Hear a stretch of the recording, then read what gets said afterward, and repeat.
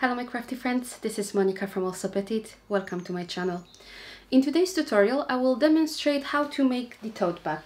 It is a soft tote bag that is perfect for any beginner. It features middle and side panels which are perfect to showcase the fabric with the large prints or coordinate a color blocking if you would like. It has nice handles, um, long enough so you can wear it on your shoulder the bag is also fully lined. I like this style because you can easily fold it, squish it and put it in your larger backpack or handbag and use it whenever you need on your shopping trips. Today I'm going to make this version which is a little bit more sturdy because I used waterproof canvas for my external panels. I also interfaced my lining and stabilized my handles.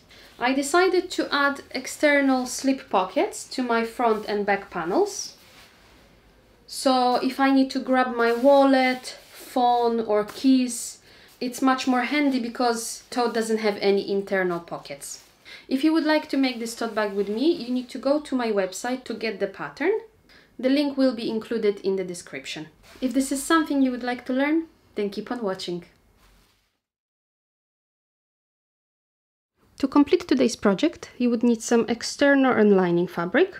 I'm using a waterproof canvas for my external fabric and a quilting cotton for my lining.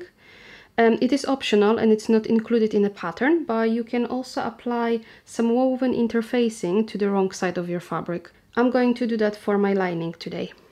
Additionally, you would need a ruler to take some measurements, your favorite marking tools, a seam ripper in case if something goes wrong, some snips and scissors, clips or pins to hold your fabric together, and some thread and hand needle to close the opening in the lining.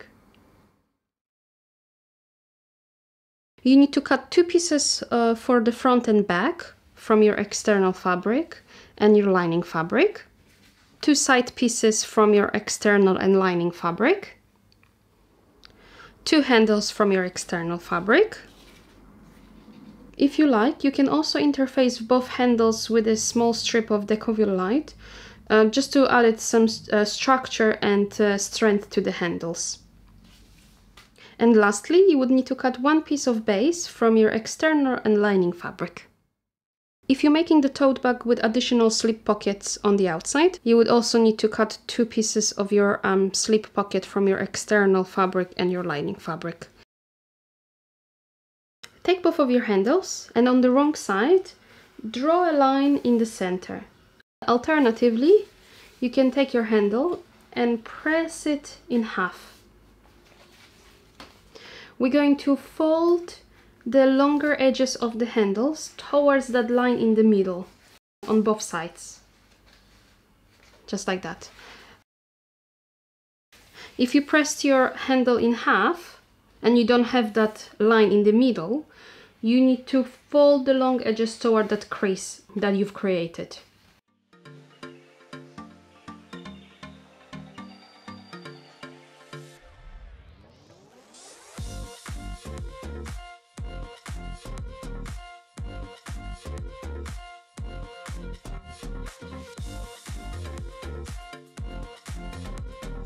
Once you're ready and you've got those long edges pressed, you're going to fold the handle in half and we're going to line those two folded edges together. You're going to pin that in place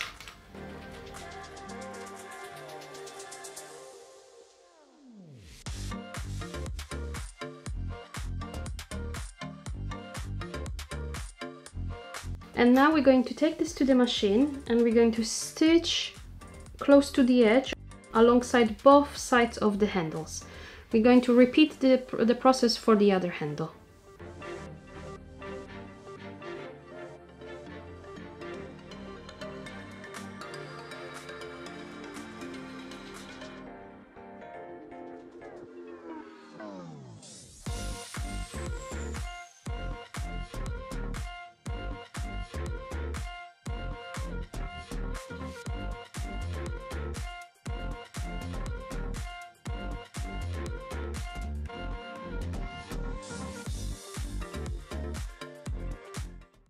Once you've got your um, handles stitched down, you can put them aside for later.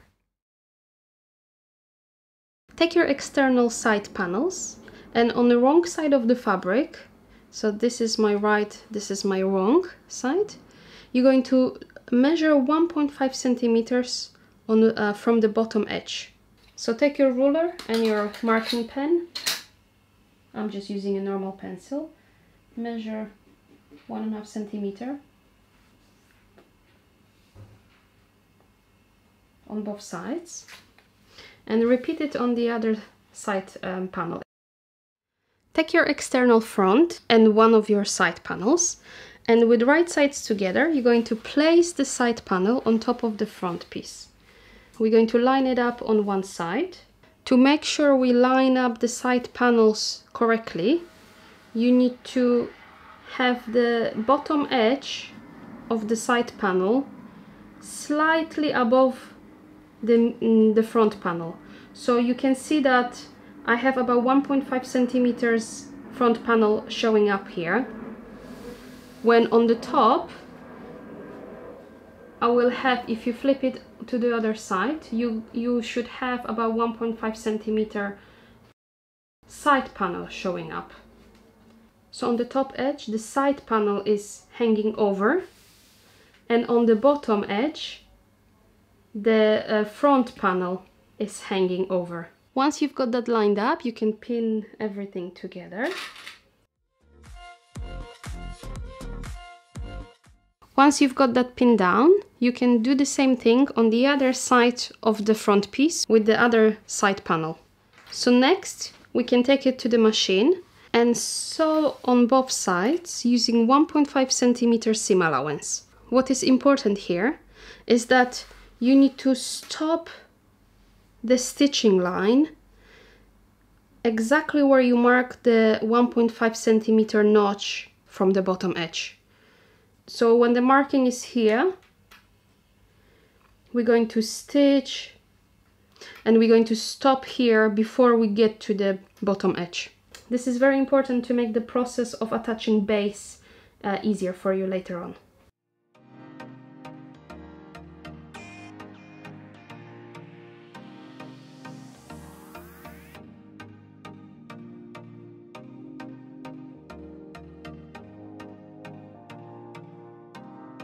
You're going to take your external back piece and you're going to line up the side edges with your side panels.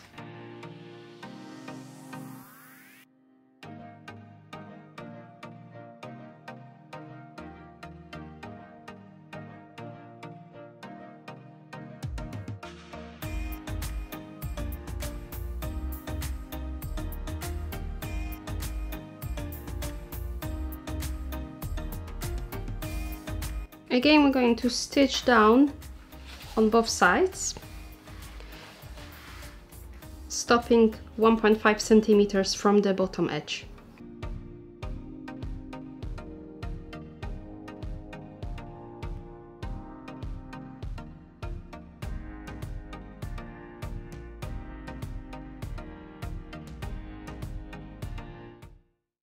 Okay, we've got all four panels together. You've got front, back and both sides. If you like, you could trim the seam allowance um, by half. I like to leave it at full seam allowance because normally I wouldn't interface the fabric so in case if it frays a little bit I've got enough um, seam allowance to stop it from ripping.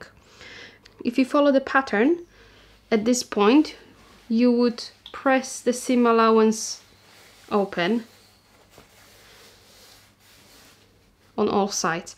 However, because I'm doing the um, external slip pockets, the seam naturally would wants to go towards the side, so I'm not going to fight it. Uh, I'm going to press all my seams towards the side panels. Because this is waterproof canvas and it's a little bit sticky on the wrong side, I'm going to use my, my cloth to protect the fabric.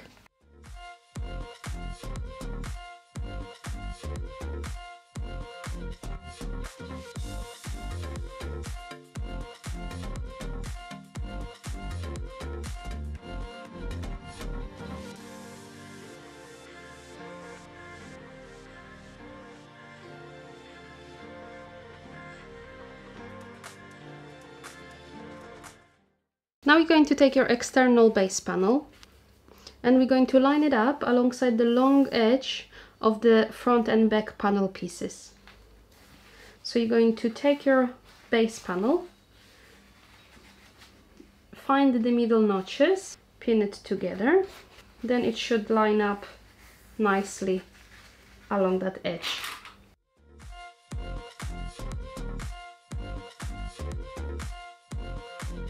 Now you can flip the panel over and repeat the process.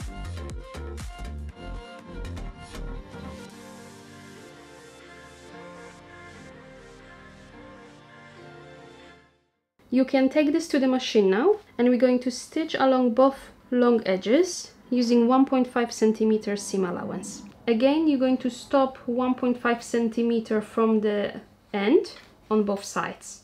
So it is easier if you stitch with your external front or back panel pieces uh, facing up. So you know exactly where you stitched the sides. You're going to start and stop exactly along um, those two points.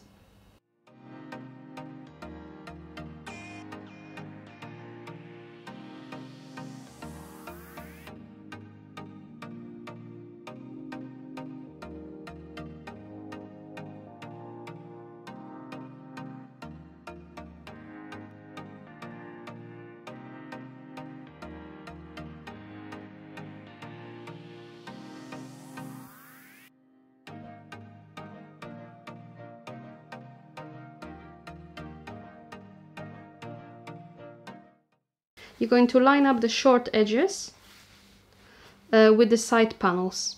Push the seam allowance away from, uh, from the side panel. You can tighten the fabric and it should naturally line up with the base. Pin that in place.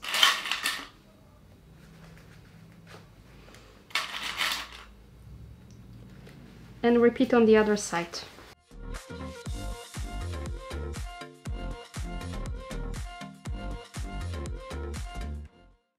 When you're ready, you're going to take this to the machine and we're going to stitch the short sides using 1.5 centimeter seam allowance. Again, you're going to start and end exactly where the previous stitching lines are.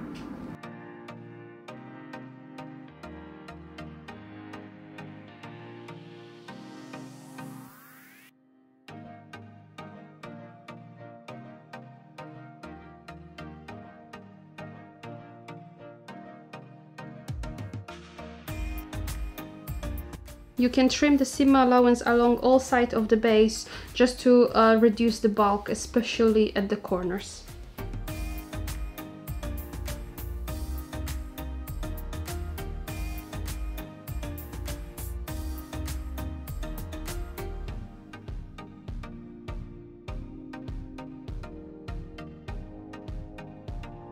Next, you can take both of your handles and we're going to pin the short raw edge alongside the top edge of the front and back panels next to that uh, side seam line. Line it up and pin it.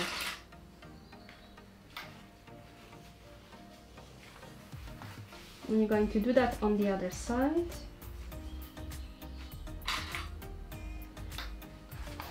And repeat for the other handle.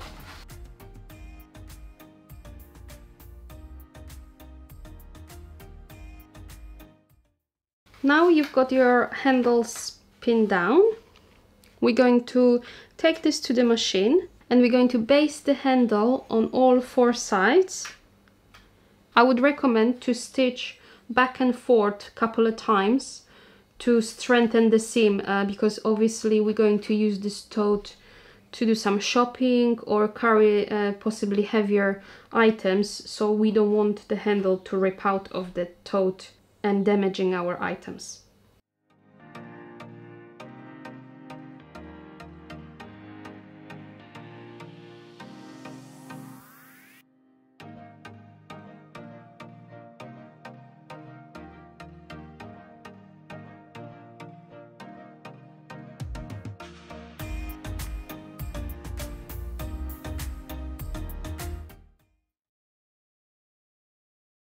Once you finish assembling the external pieces, you can put them aside for now.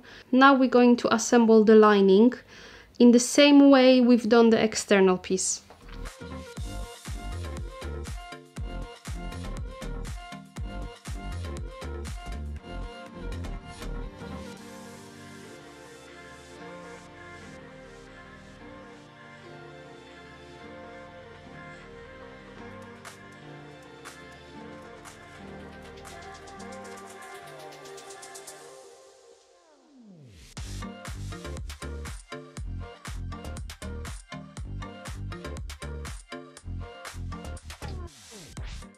Once you've got all your panels pinned down, we're going to stitch all four seams exactly in the same way we've done for the external pieces. So you're going to start at the top, finish on the bottom, making sure you finish exactly where the 1.5 centimeter notch is. The only thing is different here is that we need to leave um, small opening along one of the seams. It doesn't really matter which one. Just to make sure we can turn the tote back to the right side um, later on.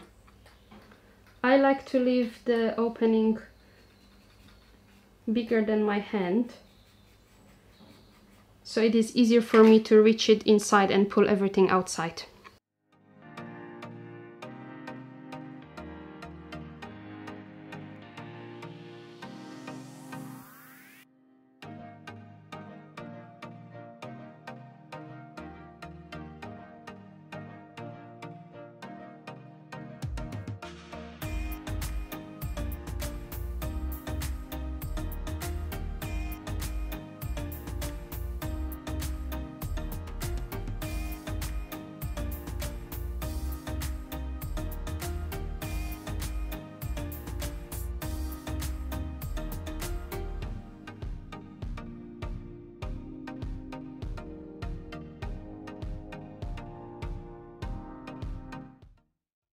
Okay, once you've got all your seams uh, stitched down, you're going to open the seam allowance and press it flat.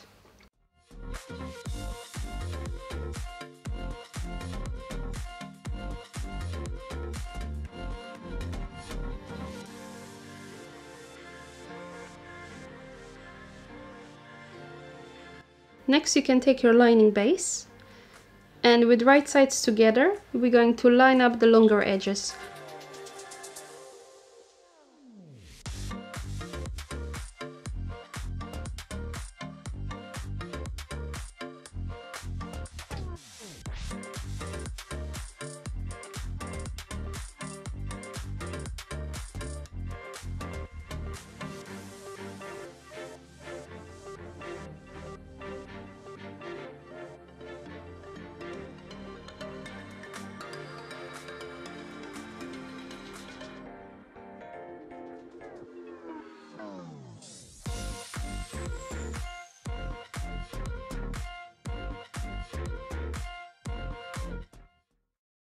Next you can line up the short sides.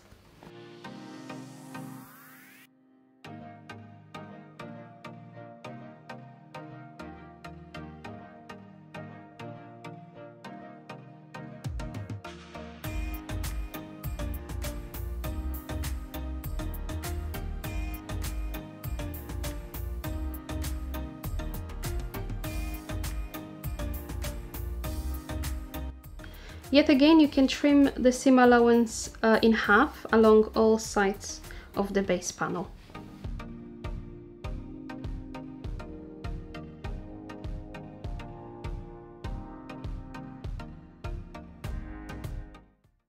Now you can turn your lining right side out.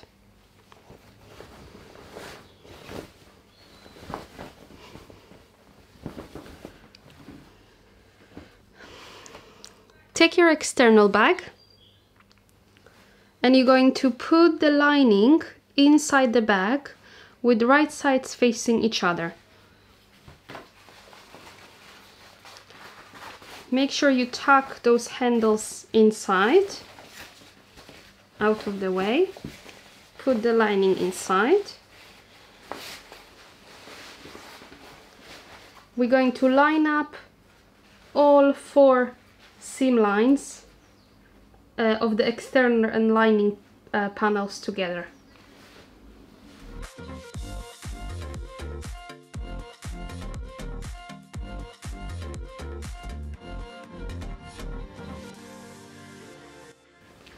Once you've got your four seam lines uh, matched, you can line up the top edge and pin everything in place.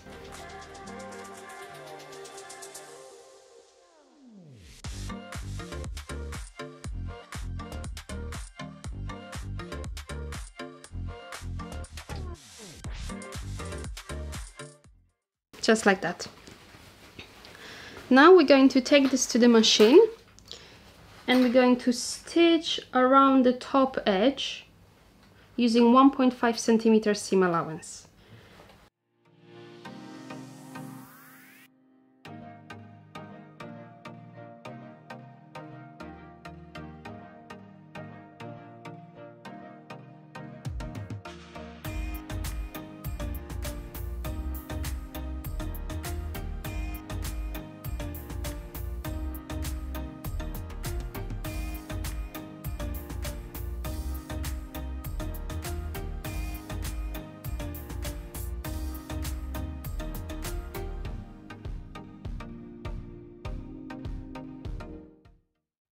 Pull the lining out and using the opening in the lining we're going to turn the entire tote bag right side out.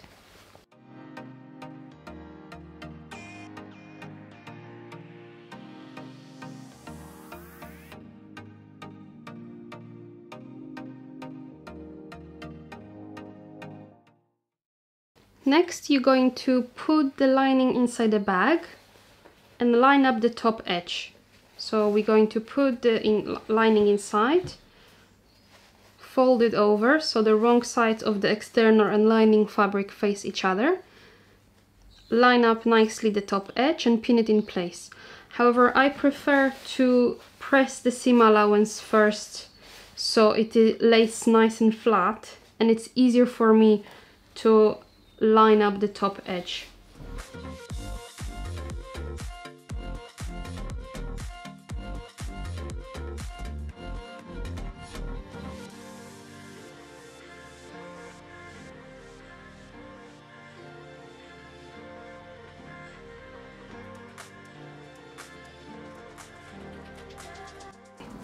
Now you can put the lining inside the bag. You're going to line up the top edge. Make sure to slightly roll the external fabric towards the lining. This will prevent the lining showing up once we top stitch the top edge.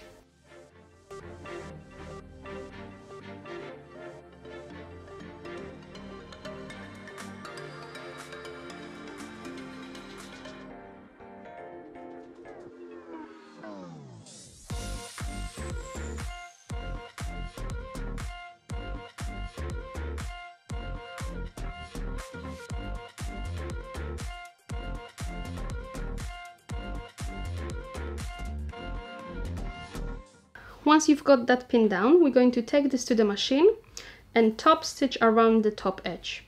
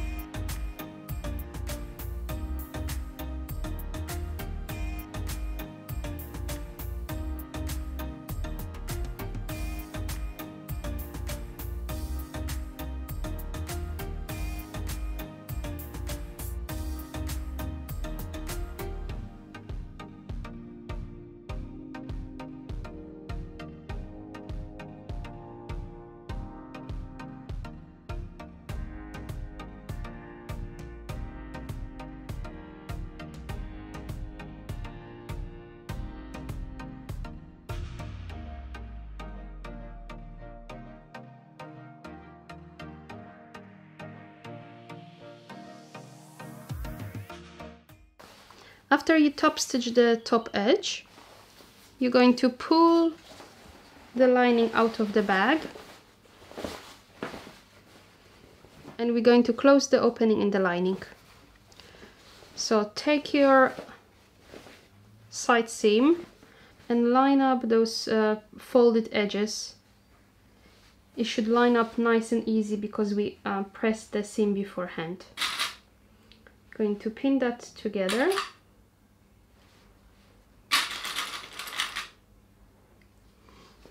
And you have two options now. You can either take this to the machine and top stitch along that uh, opening making sure you catch all layers of the fabric. Alternatively this is my preferred way. You can close the opening uh, by hand using a ladder or whip stitch. This process is more time consuming however it gives nicer uh, finish at the end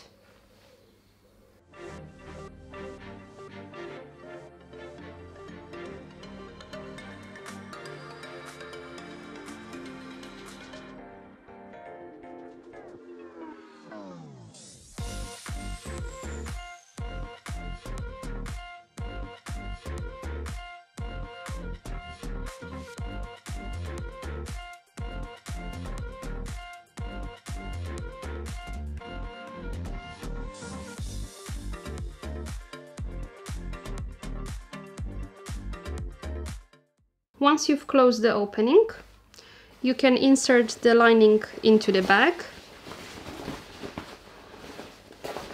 Make your corners neat and if needed, give it a final press.